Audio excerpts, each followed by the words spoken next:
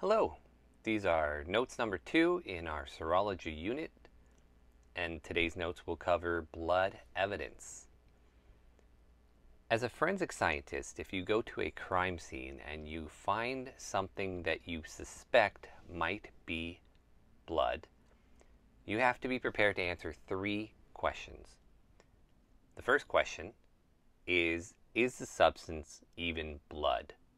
Now, I know that might seem like it would be obvious, but oftentimes as blood dries, it can appear to be other things, and other things can appear to be blood. Here is a mattress with a stain on it. We don't know what that stain is. It could be blood. It might not be. It might be related to the crime. It might not be. But the first question is is it even blood?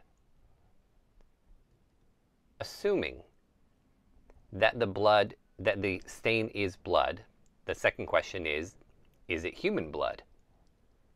There are lots of other animals that have blood, and there is a possibility that that blood at the crime scene could be from a different animal. Maybe a chicken, maybe a cow, maybe the person's a butcher, who knows? So that's question two. If it is human blood, then the third question is how closely can we associate that blood at the crime scene to a particular individual? Can we, quote unquote, match it? And there are several different tests we can do. Uh, we can go through for that, which we'll get into both today's notes along with some of the other notes in the future. So those that's the focus of these notes, trying to answer these three questions, assuming we find a stain or a substance at a crime scene. Is it blood? Is it human? And can we match it to a person? Let's start with question number one. Is it blood? Thankfully for us, we have tests that will tell us whether or not something is blood or not. We call those tests presumptive tests because we presume that it is blood. I'm going to go through a few of them to explain how they work and when you might use them. The most common test is actually very simple. It's called a phenolphthalein test. You simply swab the stain with a Q-tip and then you put a couple drops of phenolphthalein on it. This chemical might sound familiar to you because we used it in chemistry classes. Uh, it is an indicator for bases. In the presence of a base, it turns kind of a purplish pink. And because almost everything in nature that is red is acidic, so tomatoes, bell peppers, all these things are, are acidic. Blood is basic. So if our red sample turns basic, we actually presume that it's then blood. The second presumptive test is called luminol. This we spray on to large areas to look for blood that's maybe not uh, readily seen. It binds with the hemoglobin that's in the blood and then fluoresces under a UV light. Uh, this, those two are the most common tests to see if something is blood. Is it possible that something could give a positive test on one of these and not be blood? It is, but that's rare, and those things generally aren't things that we would be confusing for blood at a crime scene. Uh, there are several others. Oh, here's a picture of some luminol. Here's a a carpet that was presumably cleaned and you can't tell there's blood there to the naked eye, but when you spray the luminol and then hit it with a UV light, it does fluoresce blue. Uh, some of the other presumptive tests that have been used in the past or are still used under circumstances, uh, there's one called the fluorescein reagent. There's another called the Kastle-Meyer color test that was used for quite uh, many, many, many, many years. Um, there's a test called the orthotolidine test and the hematostic strip test. The hematostic strip is very uh, situational. It's for finding blood in a urine sample, which, who knows, maybe we have a urine sample and we need to see if there's blood in it. So, test one, do a presumptive test. If we get a positive result from the presumptive test, we can assume it is blood. And the second step is then to determine if it's human blood. Now, in order to understand how we tell if a particular blood at a crime scene is human, I need you to know a little bit about how our immune system works in order to understand how we make a test that can tell if blood is human. So we're going to stop. I'm going to have you watch the BrainPOP video, good old Tim and Moby from middle school, on your immune system so you can understand how antibodies work and what they do. And if you already know that, you're welcome to fast forward through that. But it is a good refresher for those of you who know or a good way to learn what an antibody is and how it works in your body. So we're going to take a second and watch that right here.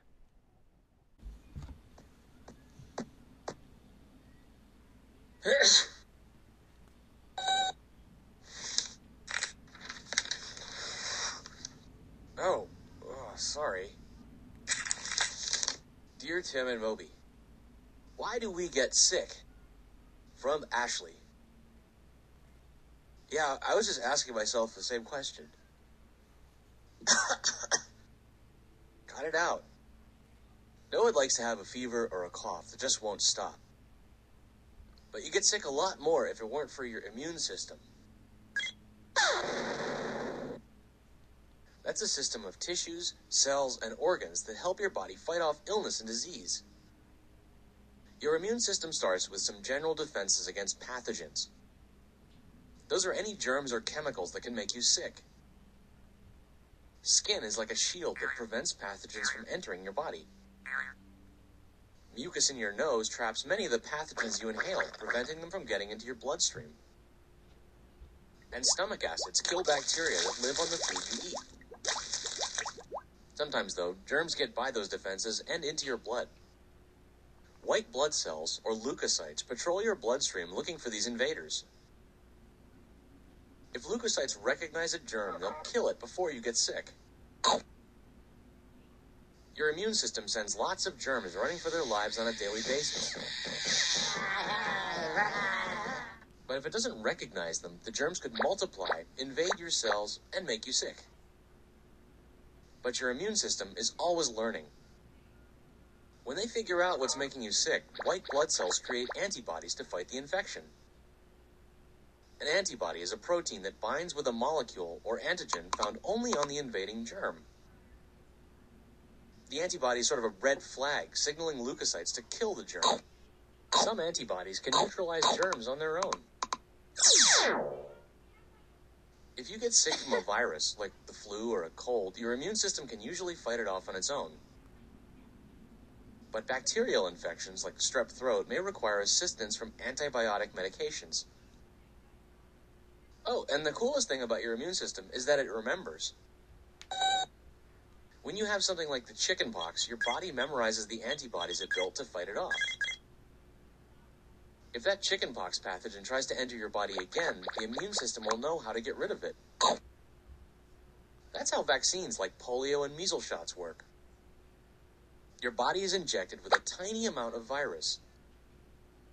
Usually, the virus is either killed or deactivated, but your immune system still recognizes it and creates antibodies for it. So if those diseases ever come your way, they won't make it far. Once you have the antibodies for a certain illness, you're immune to it. Well, actually, your immune system does need your help. Simple things like not getting enough sleep or not eating right can weaken your immune system so that you get sick more often. And sometimes pathogens attack the immune system itself. You've probably heard of HIV, the virus that causes AIDS or acquired immune deficiency syndrome. HIV attacks white blood cells and weakens your immune system to the point that your body can't fight off pathogens. When this happens, something like a simple cold can make a person really sick. Nope, HIV isn't the only cause of immune system malfunctions. People's immune systems can also break down as a result of things like malnutrition, obesity, and drug abuse. And sometimes the immune system goes haywire from something called autoimmunity. That's a condition when the body's immune system overreacts to certain cells in the body that are not really a threat. When that happens, a person's own immune system essentially attacks him or herself, which is really bad news. well, the common cold is actually lots of different viruses that produce similar symptoms. Just because your immune system fought off one cold virus doesn't mean it'll be ready for the next one.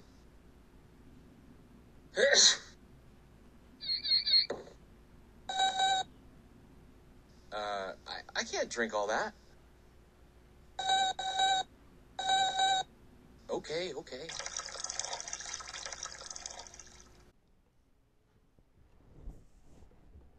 Okay, now that we all have a good idea of how your immune system works and what an antibody is and what it does, let me explain how we see if the blood we find at a crime scene belongs to a human.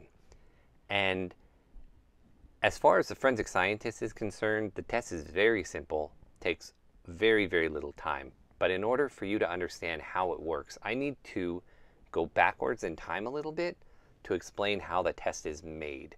So I'm going to explain the, the process by which the test is made so you can understand how it works and then what the forensic scientist actually does with it at the crime scene.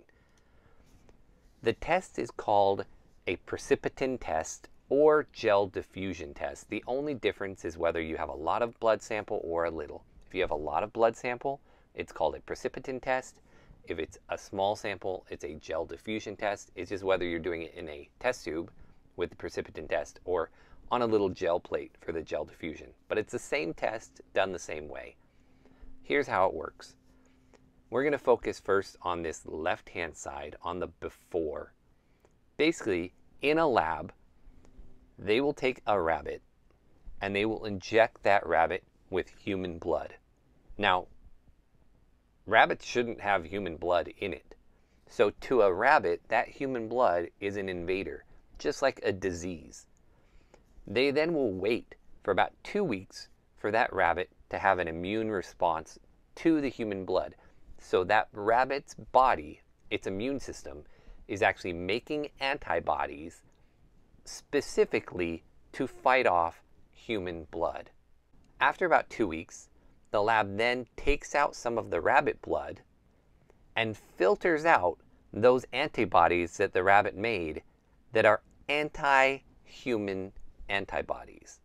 At a crime scene, if a, if a forensic scientist finds a stain, which they use a presumptive test on, and they determine it is blood, they then will mix some of that blood from the crime scene with some of that anti human antibodies that they bought from the lab, and they'll mix it together. Now, if it is human blood, the antibodies will stick to the blood, and we will get what's called agglutination. Let me show you what agglutination is. Agglutination is just the clumping of particles. So here are the antibodies that were made by the rabbit's immune system, and it will attach to the red blood cells, and they will clump together and stick together.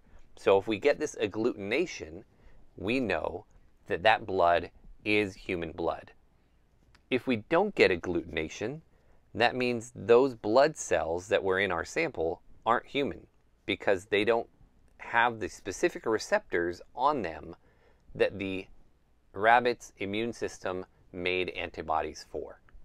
So, as far as the forensic scientist is concerned, the test is very simple. Take a little sample of the blood from the crime scene, add some of the anti human antibodies, mix it up, and see if it clumps together. And if it does, then it's human blood. And if it doesn't, it's not. But to understand how it works, we do need to know how the immune system works. So now we've answered the question of is it blood? And if it is blood, is it human blood? So the third question is can we match that blood to a particular individual? And what you might be thinking is let's test their DNA. Well, we're jumping the gun. We don't go and just test DNA of blood against an individual because it takes time and it's costly. It's exactly like checking to see if the minutia on a fingerprint matches before we check to see if the general pattern is the same. Because if one person has loops and the other person has and the crime scene is whorls, why would we even check minutia? Same thing here. There's a first step, a very quick, cheap, inexpensive step that we can do to see if the blood probably or possibly matches before we ever jump to DNA. And that's what we're going to cover today. It is called the ABO blood typing test. In order to see if the blood at a crime scene matches a particular individual, step one, test one, is to see if it's the same blood type. Let me take you through this. We'll try and go as quickly as we can, and then have a cool activity for you to do on another assignment so you can kind of test this out and see how it works. Blood typing was uh, discovered in 1901 Karl Landsteiner developed this system of the ABO system as a way to classify blood, and it's all based on some proteins, which he called antigens, on the surface of the erythrocytes. So it's all about the red blood cell. Now, throughout history, there have been a lot of crazy things people have done with um, for quote unquote medicine. At one point, they believed that if you were sick, the best thing to do was to get blood out of you because the blood must be uh, poisoned or tainted. It was called bloodletting. They literally would cut your veins open and let the blood drain out to get rid of the bad infection. George Washington actually died from bloodletting. At some point, they realized yes, there might be something wrong with the blood, but taking the blood out is killing the person, so let's just put new good blood in. The problem is, when they did these early transfusions, they didn't realize there were different blood types. And if you get a transfusion of a blood that's not the same type as yours, then your body sees that blood as an invader and your immune system will attack it and destroy it. And when you destroy all those blood cells, it releases a toxin which will potentially kill you. So a lot of people were dying from tra uh, transfusions. And it wasn't until Karl Landsteiner figured out that there are these different uh, types of blood, different little proteins on the red blood cells, which make our blood different, that we are able to start doing transfusions more successfully. Let me show you the differences between the different blood types. There is a type of protein which he named antigen A, which you might have on your red blood cells. If you do, then we say you have type A blood. And in the United States, about 42% of the population has type A blood. There's a second protein that could be on your red blood cell, and he named that antigen B. If you have that antigen B protein on your red blood cell, then we say you have type B blood, and only about 10% of the United States population has that. You might have both proteins on your red blood cell, both antigen A and B, in which case we say you have type AB blood. That is only about 4% of the United States population, so the most rare. Or your red blood cells might not have any of these proteins, in which case you are type O blood, and O is for zero. And that actually is the most common thing, and it's about 44% of the population. So let me walk you through how that would look like. Here is a typical red blood cell that has the A antigen on the surface. Here's a type B blood with the B antigen. You can see it's a different protein than the group A. Here's somebody who has both, so they're AB blood, and here's somebody whose red blood cell has neither. Now, if you have type A blood, your body will make the antibody against the B protein. If you have type B blood, your body will make the antibody against the A protein. If you are lucky enough to have both the A and the B on your red blood cells, then your body won't make any antibodies. But if you have the type O blood, meaning your red blood cells don't have any of those extra proteins, then your body will make antibodies against both. So if I have type A blood, I cannot get a transfusion from somebody with type B. If I have type B blood, I cannot get a transfusion from type A.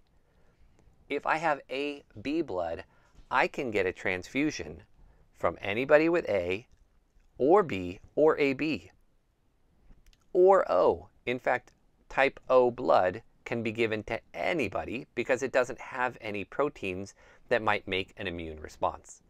But if you have type O blood yourself, then your body will react against A blood, against B blood, and against AB blood, and you can only get a transfusion from other type O blood people. Now, this worked really well for a, quite a while, but every once in a while, somebody would still die. And Karl Landsteiner was still doing more research, and he found 39 years later that there is yet another very, very, very small protein that he missed, and everybody else missed too. And he named it the rhesus factor, or RH, and he found that you either had it or you didn't. If you had the RH factor, another protein on the red blood cell, he said you were Rh positive. And if you didn't, you were Rh negative. Now, in terms of statistics, most people are positive. About 85% are Rh positive. So let me show you how this now complicates the blood typing situation. Here is our red blood cell with type A. And this little blue thing is going to represent our Rh factor. So if you have the A antigen and the Rh factor, you're A positive. Again, you will still make antibodies against type B. If you are A but you don't have the Rh, you're A negative, and your body will make antibodies against type B and against Rh. So this person can get a transfusion from other type A blood or and it doesn't matter if it's A positive or A negative. But this person who's A negative cannot get blood from an A positive person because their body will make this antibody and destroy that blood and potentially die. B positive has the B antigen and the Rh. B negative has just the B. AB positive, these lucky people, have all three of the proteins, which means they can take blood from everybody because their body is used to the A protein, the B protein, and the Rh factor. Let's go down to the O's. There are people who are O negative. Their red blood cells have no proteins, which means their blood can be given to everybody. They're called the universal donor because their blood is quote unquote clean and it will not make an immune response from anybody. But their body will make antibodies against A, B, and Rh. So if you want a transfusion as an O negative person, you can only take O negative blood. It is the uh, most difficult blood to get for these people, and they're constantly having shortages. If you are O negative, it would be really great if you donated blood because they need your blood. All right, we're almost done. I want to take one little quick tangent because it is um, a point of interest, I think, although it doesn't have anything to do with uh, criminal investigations. And that is that it is possible for the mom to have an Rh negative blood and the baby have Rh positive blood because the father, the baby daddy, had Rh positive blood. And that gets into a situation called hemolytic disease. The mom, if they're Rh negative, remember that's only about 15% of the population.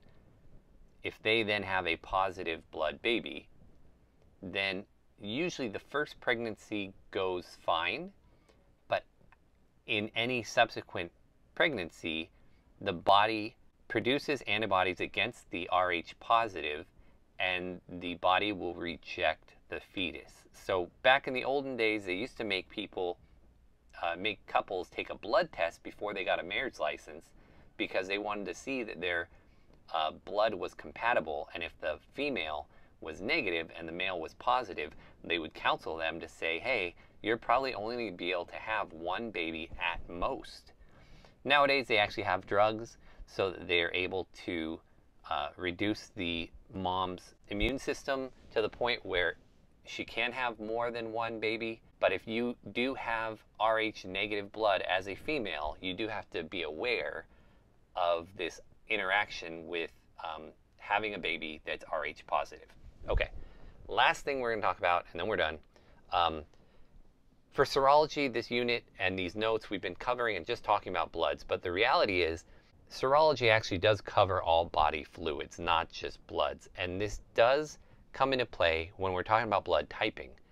And that is that for most people, you can find the blood type from their saliva, their semen, even teardrops. That is because that protein that's on those red blood cells also gets secreted in other body fluids. We call those people um, secretors, and we found that about 15 to 20% are non secretors. That means you can't determine their blood type from other body fluids, but the vast majority of people are secretors, and so you can actually tell their blood type from other samples, not just blood. So hopefully we get the idea from these notes that if you find a stain at a crime scene, we do have these three steps we go through. Is it blood? If it's blood, is it human? And if it's human, can we take the first step to see if we can match that blood to a person? And that first step is testing their blood type to see if their blood types match. In future notes, we will go over how we then, if their blood types match, how do we do DNA testing? We'll also be covering some other things in terms of how blood acts at a crime scene, blood spatter, and that kind of thing. Thank you very much for watching, and I'll talk to you next time.